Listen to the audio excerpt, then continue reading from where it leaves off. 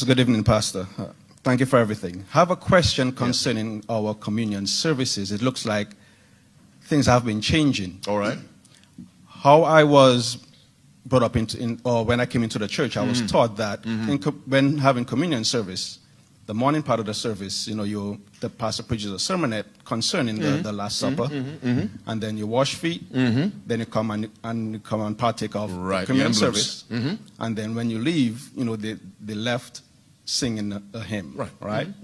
Um, what I've seen, or what was tried to, that was um, tried to be implemented was everything done be done in the morning part, mm -hmm. the mm-hmm. washing of the feet, and then preach the sermon, and mm -hmm. then mm-hmm. have benediction mm -hmm. and leave. Mm-hmm. So I stated, you know, well, how I understood it in Mark. And then you leave.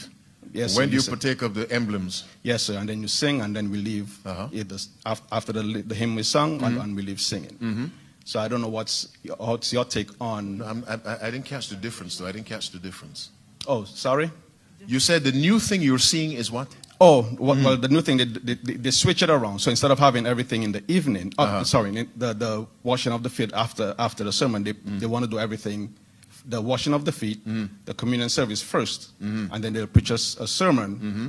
and then have a, a, a, do a benediction to close the service. Mm-hmm.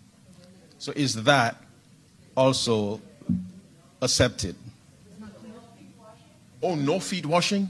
No, no, no. He's saying uh-huh that the preaching came after the communion. Oh, I see, I see, I see, I see, I see. Uh, there's no biblical mandate for when the preaching should come. It's a matter of style and preference. The preaching can come anywhere. Yeah, come, can come anywhere. Um, it doesn't have to be before the emblems or after. It depends on what the people prefer. Yes, it's a choice. It's a choice. I mean, you look at every church, their list of all preliminaries. They vary from church to church. I've been to churches to preach. I had to wait 90 minutes before I spoke because there were 90 minutes of preliminaries. And maybe the church baptized five people in 40 years, but they have 90 minutes of preliminaries. Are you following me? And I can understand it. But anyway, it's a personal choice. It's a personal choice. Yes, yes. Mm -hmm. For instance, you have offering, am I first, right? Then you have what a morning prayer, whatever. You can switch that around now. It accepts people. You have morning prayer before the offering. Some people get very upset if you change the order of service. But order of service is not a biblical mandate. It depends on the individual church. Mm -hmm.